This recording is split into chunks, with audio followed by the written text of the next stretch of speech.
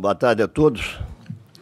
Havendo quórum regimental e na forma do regimento interno e também combinado com a da presidência número 12, 2024, declaro abertos os trabalhos da instalação da comissão especial que tem como finalidade apreciar a indicação do senhor Eduardo Nobuyuki Usui, Usui para ocupar a vaga de diretor administrativo e financeiro da Agência de Regulação de Serviços Públicos de Santa Catarina, ARESC.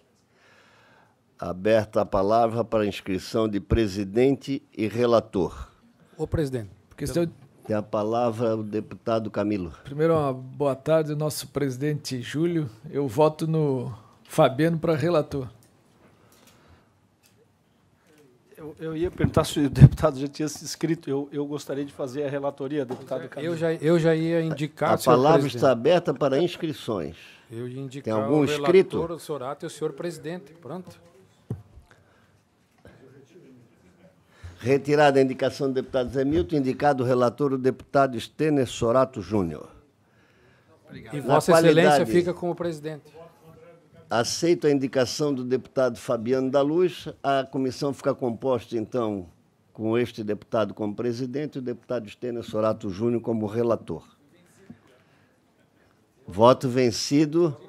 Voto vencido do deputado Camilo Martins cuja indicação não foi aceita pelo indicado.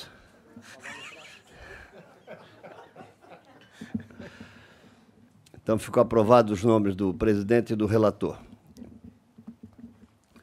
Nesse momento, considerando que consta dos autos os documentos pessoais e informações do indicado, senhor Eduardo Nobuyuki Usui, é, gostaria de saber se deseja o indicado fazer alguma consideração.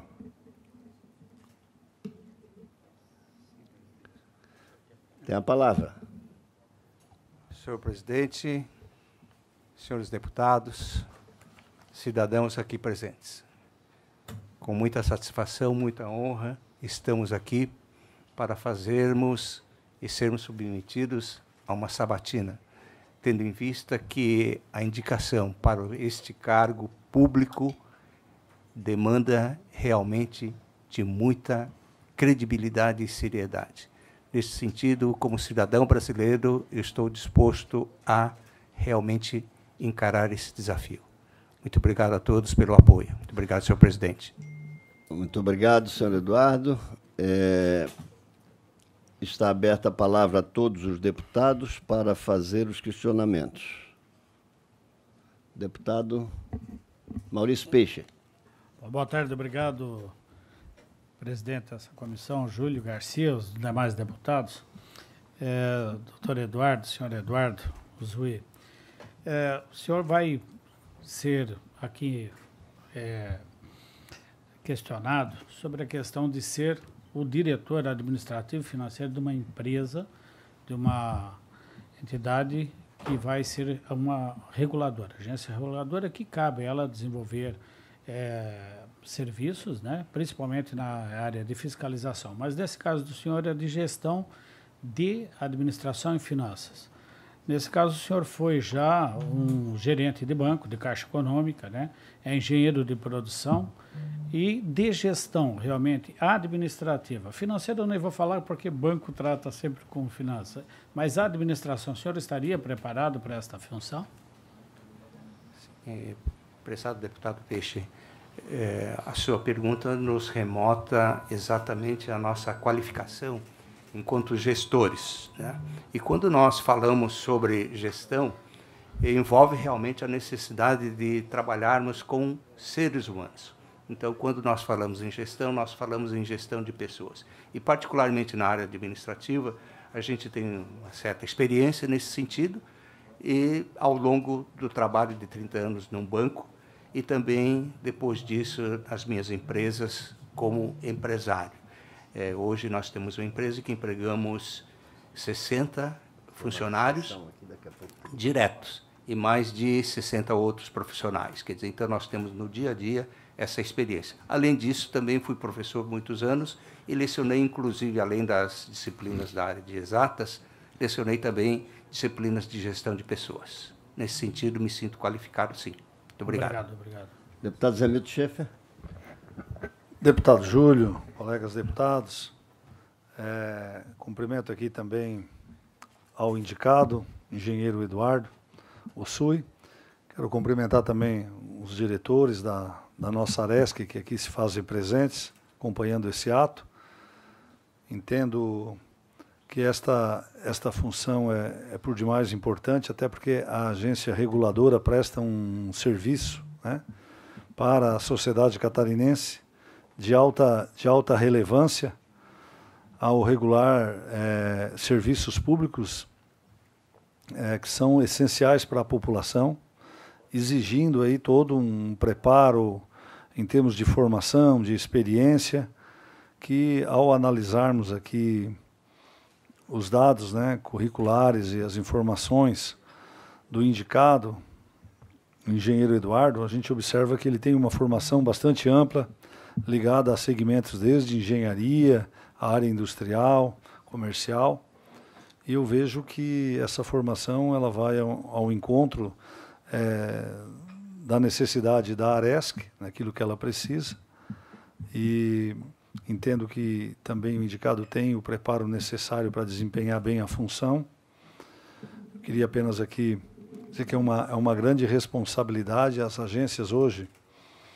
Não é o caso da nossa, da ARESC em questão, mas muitas agências às vezes deixam a desejar em, na regulação de, de serviços públicos, que eu repito, desde que eu estou deputado aqui, a Aresc sempre cumpriu o papel dela, é, com muita competência, todo o quadro de funcionários.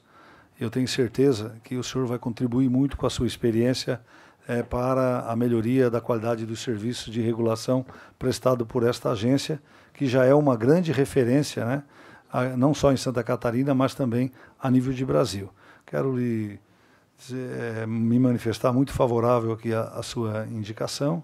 O senhor tem todos os requisitos, não tenho nenhuma pergunta a, a ser feita, porque o seu currículo eh, e os seus dados aqui mostram uma pessoa experiente, preparada, eh, com visão, que é isso que o cargo vai exigir né, para bem administrar essa diretoria, que ela é estratégia, estratégica para o funcionamento da agência.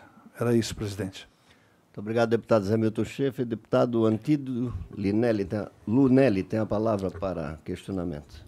Senhor presidente, nobre deputado Júlio Garcia, prezados colegas deputados, a todos que nos acompanham aqui é, através da, do sistema, eu só gostaria de contar aqui, fazer uma, um, uma recapitulação daquilo tudo que acontece no nosso município de Jaraguá e daí tentar elencar com as situações do estado de Santa Catarina.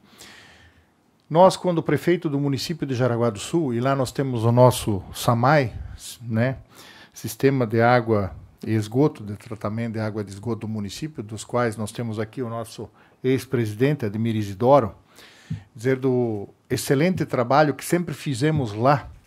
Jaraguá do Sul tem 100% de entrega e tratamento de água para toda a população para os próximos 25 anos temos 92% de todo o esgoto tratado. E Jaraguá do Sul não é um município plano, é cheio, cheio de morros, montanhas. Né? Temos os rios, temos rede ferroviária.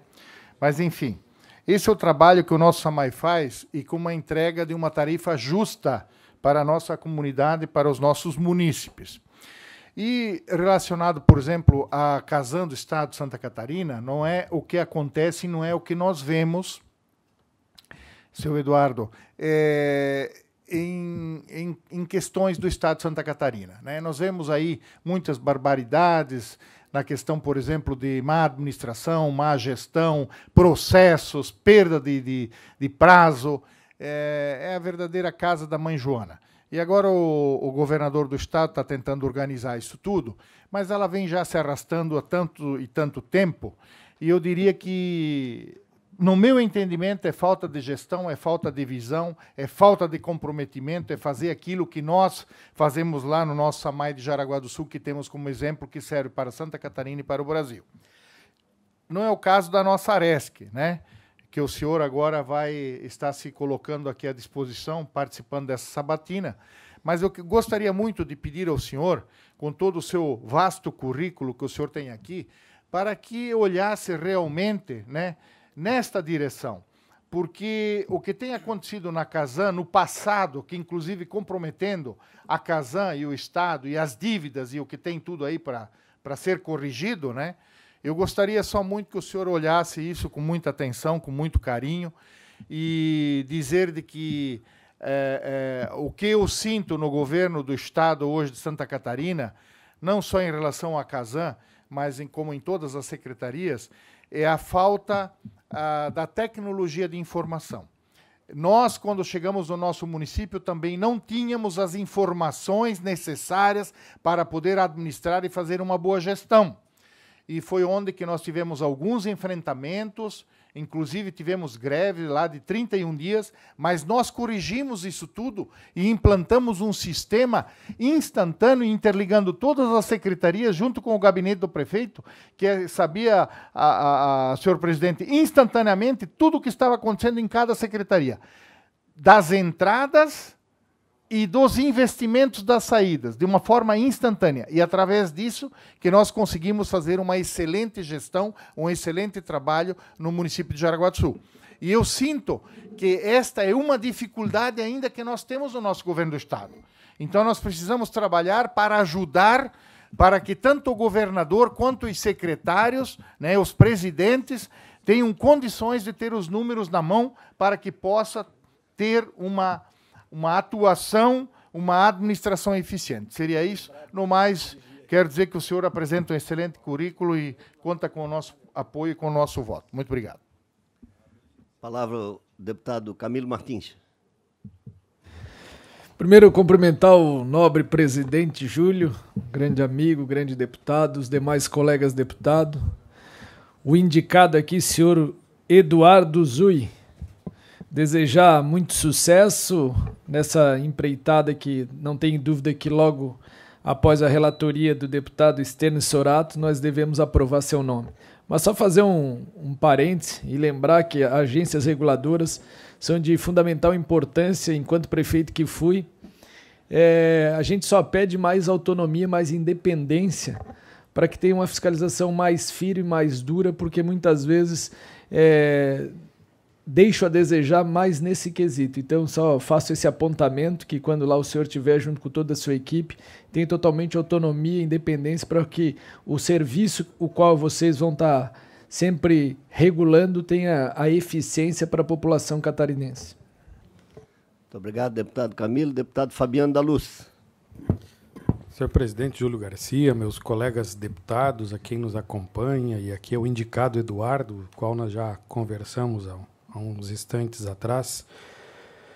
Eu quero desejar a você que realmente essa experiência toda que está aqui colocada em seu currículo nos ajude, Santa Catarina, ajude muito no trabalho da ARESC e que realmente a gente consiga, como os demais colegas aqui falaram, melhorar cada vez mais a nossa gestão que Santa Catarina precisa. Boa sorte. Não tem muito questionamento não, presidente. Já conversei com ele. Muito obrigado, deputado Fabiano. Ainda não como relator, deputado Stener Sorato. Obrigado, senhor presidente, deputado Júlio Garcia, colegas deputados. É só referendar, acredito que tudo que já foi falado aqui, mas na pessoa do indicado, doutor é, mestre né, Eduardo Toboyuki Uzui. Ele é pós-graduado em educação financeira, mestre em engenharia e com uma carreira de 30 anos na, numa instituição financeira, Caixa Econômica Federal, finalizando essa carreira como gerente geral da agência aqui em Florianópolis. Então, acredito que está completamente credenciado a ocupar o cargo de diretor administrativo financeiro da Aresc. Muito bem, encerrados os questionamentos, a pergunta mais difícil de ser respondida foi a do deputado Antídio Lunelli, daqui a três anos, quando estiver perto do final do mandato, para responder tudo sobre a Casan. O relatório já está praticamente indicado. Eu passo a palavra para o relator para, para suas conclusões e relatório final. Relatório e parecer ao ofício número 4 de 2024. Trata-se de ofício que se refere à indicação promovida pelo excelentíssimo senhor governador do estado de Santa Catarina e submetida ao crivo do Parlamento Estadual, do senhor Eduardo Noboyuki Uzui, para o cargo de diretor administrativo e financeiro da Agência de Regulação de Serviços Públicos de Santa Catarina, ARESC, em consonância ao que prevê o parágrafo 1 do artigo 10 da Lei 16.673, de 11 de agosto de 2015, que dispõe sobre a fusão da Agência Reguladora de Serviços Públicos de Santa Catarina, a GESC, com a Agência Reguladora de Serviços de Saneamento Básico do Estado de Santa Catarina, a GESAN, e cria a Agência de Regulação dos Serviços Públicos de Santa Catarina, a ARESC, e estabelece outras providências. Em sede de instrução legislativa, desde que foi, foi acostado aos autos o currículo e a cédula de identidade do indicado para o cargo público, que processou e iniciou a sua tramitação na Assembleia Legislativa do Estado de Santa Catarina na data de 4 de abril de 2024